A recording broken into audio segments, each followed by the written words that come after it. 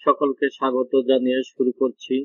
আজকের বিষয় হলো, এই ভারত উপমহাদেশে কীভাবে কচুরিপানা এসেছে এবং এই কচুরিপানা কীভাবে তার বংশবৃদ্ধি করেছে এবং কীভাবে এই কচুরিপানা মানুষের ক্ষতি করে থাকে এবং এই কচুরিপানা দমনের পদ্ধতি এবং এই কচুরিপানা দিয়ে সার তৈরির পদ্ধতি বিভিন্ন বিষয় সম্পর্কে আজকের আলোচনা। প্রথমে দেখা যাক কে কচুরিপানা এই উপমহাদেশে কীভাবে এসেছে। ইংরেজি শাসনামাল অর্থাৎ ব্রিটিশ শাসনামলে এক রাজা মুগ্ধ হয়ে ভারতীয় উপমহাদেশে যে সময় ইংরেজরা শাসন করে, এক রাজা আফ্রিকা মহাদেশে ভ্রমণের উদ্দেশ্যে যান এবং সেখানে সে দেশ পরিদর্শন করেন। পরিদর্শন করে তিনি এই কচুরি পানার উপর মুগ্ধ হন।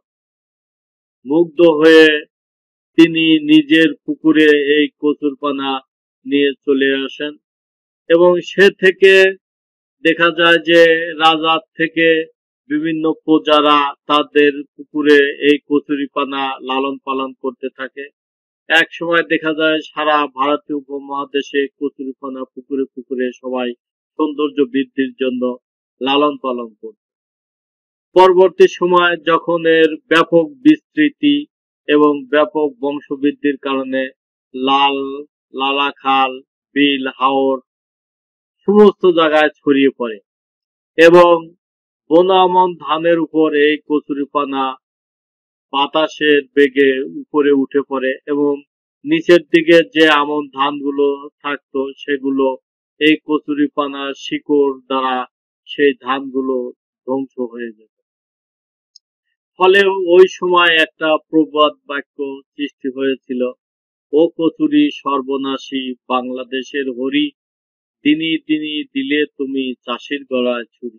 এই প্রবাদ বাক্য ব্যাপকভাবে ছড়িয়ে পড়ে। সে সময় কচুরিপানা মারাত্মক প্রভাব পড়ত। পরে বাংলাদেশে বিভিন্ন জায়গায় শহর রক্ষা বাঁধ বা বিভিন্ন বাঁধ সৃষ্টির ফলে দেখা যায় বন্যা প্রকোপ কিছুটা কমেছে। যে কারণে বোনা আমনের জমিগুলো এখন রোপা আমনের আওতায় চলে এসেছে।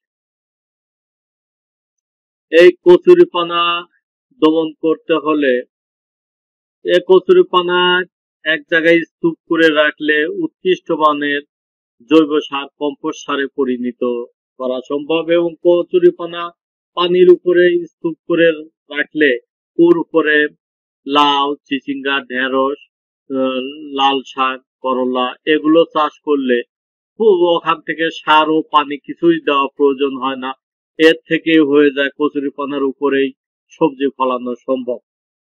এই কচুরিপানা দমনের জন্য যদি আমরা সমূলে কচুরিপানা দমন করতে চাই, তাহলে এই কচুরিপানার উপরে প্রথমে গ্লাইক্রোসেট গ্রুপের আগাছানাশক স্প্রে করতে হবে এবং সাত দিন পর প্যারাকোয়াড গ্রুপের আগাছানাশক স্প্রে করলে দেখা যায় যে কচুরিপানাগুলো সমূলে নিধন হয়ে যায় এবং পচে পচে শক্ত এবং পচে একবারে ঝুরঝুর হয়ে যায় আর নিশ্চিন্ন হয়ে যায়।